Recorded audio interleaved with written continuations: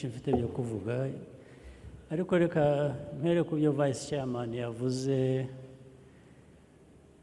byose ni ingero gusa abantu bagenda bakoresha kubona ko hari ibintu rwose twiyima twibuza kandi bishoboka. Nk'urwo rugero rwonyine yatanze eh, rw'inkweto. Abashinzwe ishoramari mu gihugu twese twese buri wese twananijwe n'iki kuba u rwanda rwakora inkweto? Impu turazifite kuko dufite inka cyangwa n'andi matungo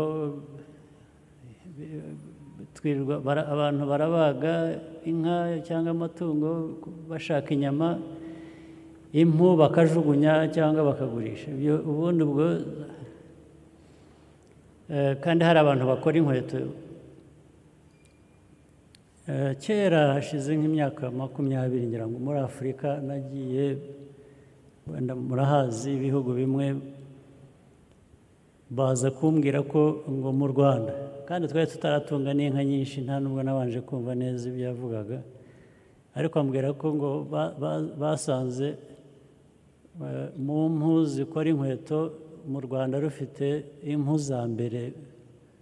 Ngira ngo avuga ku isi rwose sinzi impamvu ntabwo. Urumva dufite impu dufite twananiwe eh, gushaka abazi gukora inkweto bazi gutegura izo mpu aho kugira ngo tuzohereze hanze bagakorera inkweto hano ayo mafaranga nyine ibyo bazimba minisita vice chairman bazivamo yavugaga ubwo bikaba bibaye ko ari ibijyanye n'ubushobozi bw'igihugu gikora. Ibyo mu byo muzashyira mu myanzuro kuki tutabikora vuba minisita wa komasi cyangwa eh, abashi- aba rdb ikibazo cyabaye iyo mushakisha kubaka inganda n'iki? Haba habuze iki kugira ngo Hmm? kubaka inganda n'ubushobozi bukora nk'inkweto nk'ibyo ikeneye amafaranga twayashaka tukubaka inganda. Kereya habuze iki? Amagambo make gusa ukwirirwa uvuga wicaye ntiwirirwe utwara umwanya uhaguruka mbwira numve gusa nyakubahwa perezida wa repubulika ah, ni gukurikirana treatment ya ya ya hides kugira ngo dukore quality ya leather nziza ariko twarabitangiye na nida na minicom ah, hari abantu babitangiye ni gushyiramo imbaraga mwana bihari. bitangiye rero imi- imige- imigendere yanyu ni mumaze imyaka makumyabiri mwarabitangiye mubitangiye ubu bizatwara ingahe? Mwarabitangiye. Minicom mwarabitangiye dutegereze tuzarinde tunogoka. Eh, biga- bigana he? Cyangwa se umuntu yakora iki? Accelerate it kubyihutisha noneho. Kuko ntabwo numva mu mutwe cyangwa mu byo kere yambwiye ntabwo harimo timeline ntiharimo iki ni ibintu biri aho twarabitangiye turabikora so umuntu ashobora gutegereza indi myaka icumi wa- wa- mwanahura wakongera ukamubaza akakubwira ko batangiye. Nyakubahwa perezida wa repubulika. Magambo make. What is the timeline? Icyuze ni ukubyihutisha ko turabyihutisha. Timeline. Ibyumweru ni amezi ni imyaka ni iki impu zirahari. Timeline. Tuzakora ibishoboka byose kugira ngo tubyihutishe. Ubwo- dose, ni uko ubwo ni uko twibereye nyine dutahiye ibyo ngibyo yicarire.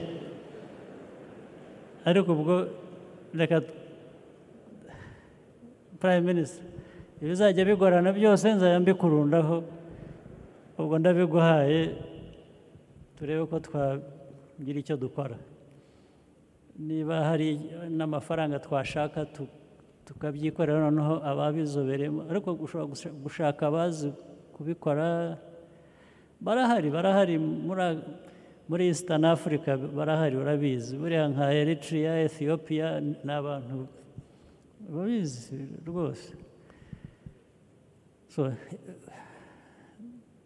nibishaka no tugira umuntu tukamuha amafaranga ngo bidukorere twayamuha tukazaya tukazigarurira tumaze ku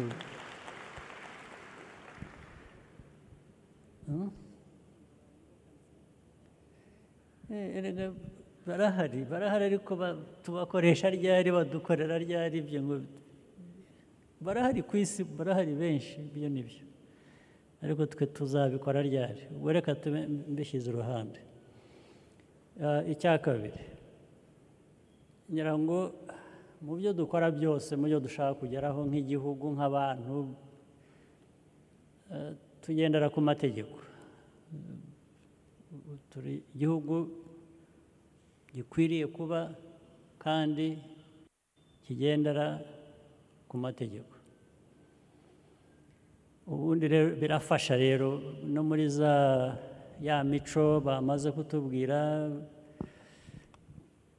ibi byenda n'iki buriya birimo abuse birimo ibintu bibi cyane no mu buryo usibye iyo iby'imico byananiranye bihereza iby'amategeko akaba ariho mm, bigana bigakomeza. Ejo bundi ubanza wenda mwabivuze kare simbizi. Nyiza kumva ko hari ibyo mwabanje kuganira. Ariko maze iminsi nsoma ibintu biri mu makuru mu rwanda ndetse naje kubisoma nyine ko fasiterida hari abantu yahuye nabo. Byose bibona mu binyamakuru abuse kugira ngo ishoboke nk'iriya in fact bwa mbere nabanje kubimenya bivuye muri rib rwanda investigation bureau. Hari umuntu wafashwe wafunzwe. Najyaga mbona bavuga misi misi rwanda misi rwanda nkagira ngo nyine kuko ni ukurata ariko usibye ko na byo. Hari ibintu umuntu yihorera kuko ntacyo bitwaye ariko nta n'icyo bitanze. Ariko uka- uka- ukabyihorera abantu bara- uburanga ba- okay. Niba hari ababyungukira ariko ikibi cyaje kuvamo numva gitumye mbivuga. Ni abangaba babigize umwuga cyangwa abirimo bandi batari bo babyungukiragamo ahubwo bikungukira abandi ababiteguye bakabishyiraho. Usanga ahantu abagabo babiri inyuma babitegura bikaza kuvamo gucuruza abo bana b'abakobwa bitwa ngo bara kubacuruza cyangwa se nabo ubwabo to abuse them. Bi- bi- bika- bikaba mu gihugu cyacu bikatubamo bamwe bagomba kuba abantu babizi bagaceceka ntihagire ugira icyo abivugaho abandi ntibabizi. Ubu ni ukuvuga ngo muri bahoze bavuga mu muryango wacu wa- wa- mugari hari umuryango muto w'abantu bahura ari benshi bikaba umuryango munini w'igihugu. Ni ukuvuga ngo hari ukuntu tu- turangaye cyangwa se imico mibi twese yatwinjiyemo ku buryo ibintu nk'ibyo ntacyo biba bitubwiye bishatse byaba. Umuntu aki- aki- akihangira umurimo. Tu- tubwira abantu kwihangira imirimo bagahanga n'indi ubwo abantu bakihangira umurimo to abuse people. Gucuruza abantu erega reports ndazibona iteka no muri polisi usibye gucuruza bijyanye muri iyo nzira navugaga umubare w'abantu bafatwa bahagarikwa ba- correspondence ziriho hagati y'u rwanda n'ibindi bihugu. By'abantu babaye smuggled bagatwarwa hanze bakabagurisha. China oman muri iriya region ya gulf region hehe. Hari abanyarwanda benshi bagenda cyane cyane baba ari abakobwa ariko n'abahungu barimo. Rimwe tukazajya tukabona polisi ikabona amakuru ko abantu bari mu gihugu runaka hari umuntu wabonye uko uwo atuma aramubwira ati turi aha turi abakobwa cumi na babiri twaje dutya tu- nimudutabare uko yagiye ntawe ubizi ariko yagezeyo nyine asanga ibyo yasanzeyo bamwe babagize nka nk'abacakara ibintu bya serebuzi bakaba serebuzi abandi baka- bakaba bakabakoresha nk'iki ntabwo babarongora ngo babagize abagore mu miryango yabo ariko ni abantu bari aho bakababiyuzinga gusa akaba ari icyo babereyeho. Baba abanyarwanda. Ni ibintu byinshi rero bigenda byandikwa hari kesi hari byinshi bimaze kugaragara ko biriho. Hmm? Nka- buriya ariko reka mbihine. Hari uburyo bubiri rero abantu bakwiye kubirwanya. Cya mbere hari amategeko. Umuntu wabaye abused umuntu uhohoterwa umerewe nabi akwiye gutinyuka akabivuga akareba aho abigeza kugira ngo atabarwe cyangwa amategeko agire uko amurenganura Eh, ubwo ni bimwe simbona impamvu abantu batinya kwirenganura bitabira inzego cyangwa keretse niba batinya kujya mu nzego cyangwa inzego zacu bavuga bati ariko se uraregera nde uraregera nawe umeze atyo? Icyo muzakirinde ki- ki- aho abantu bashobora gutinya ku- ku- kugira uwo bagana ngo bam- bamubwire kurenganurwa kubera ko bazi ko nawe ari uko ameze cyangwa ntacyo yakora kurenganura umuntu. Icyo- cyaba ari ikintu gikomeye. Icyo ni kimwe. Icya kabiri abantu ku giti cyabo baba abused bahohoterwa.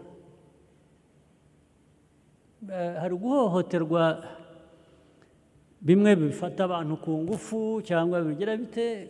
Icyo ni kimwe. Ariko hari ibindi bashukisha abantu gusa. Nku- nk'uriya musore navugaga umugabo nabonye uri mu ribu kwanza kiriya kintu cyitwa iyi organization ireba uburanga bw'abantu cyata- cyabayeho giti? Ntikigira amategeko akira.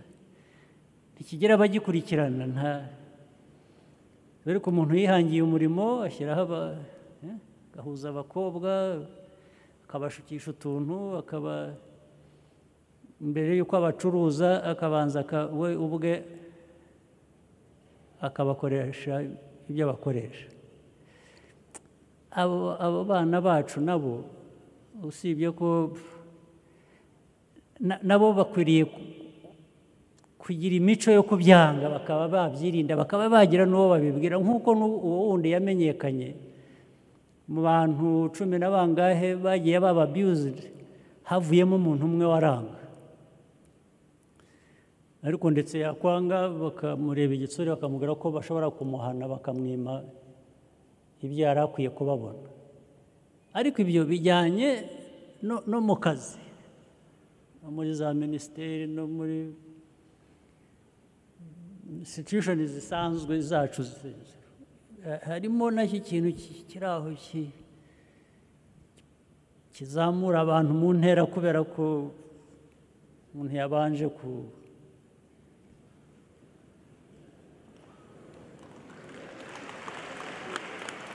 ubwo murabyumva. Ntabwo nirwa mvuga birenze ibyo. Eh, abantu bari mu gisirikare ukazamurwa ukazamurwa mu- ntera kubera ko hari abo hejuru ugomba gufata neza. It's really ni ibintu bibi cyane.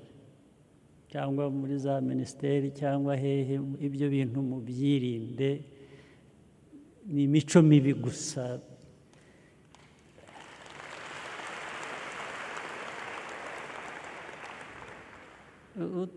Nucika leta ntikumenye ngo iguhane n'imana izaguhana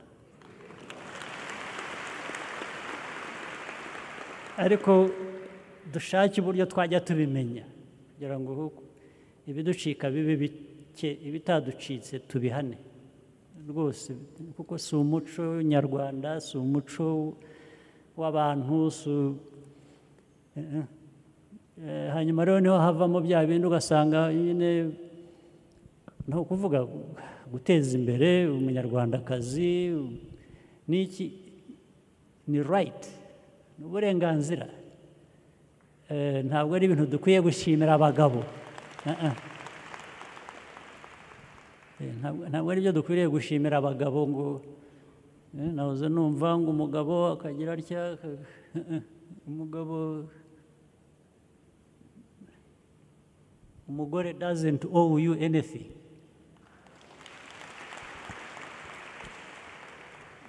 I- i- if, if anything you owe each other. The first thing is you owe each other respect.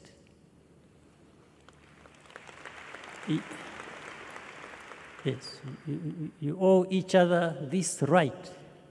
Ntabwo umu- umugore no mu rugo cyangwa no hanze ataranarongorwa cyangwa icyo akiri umukobwa hanze uburenganzira bwe n'ubwe ntabwo abukesha umugabo. Ah, ntabwo bibaho